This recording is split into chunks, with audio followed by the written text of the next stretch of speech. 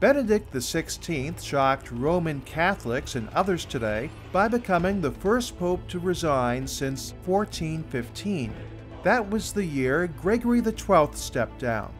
According to his statement, Benedict read to a church council this morning After having repeatedly examined my conscience before God, I've come to the certainty that my strengths, due to an advanced age, are no longer suited to an adequate exercise of the Petrine ministry.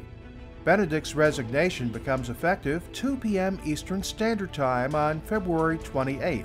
The 85 year old pontiff assumed office in 2005 at age 78, tying the record for the oldest cardinal elected pope with Clement XII, who was ordained in 1730.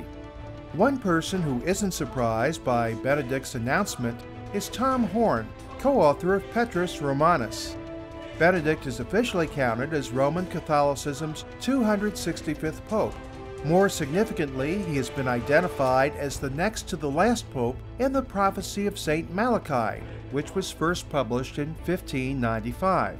This document describes the final pope, Peter the Roman, who will nourish the sheep in many tribulations.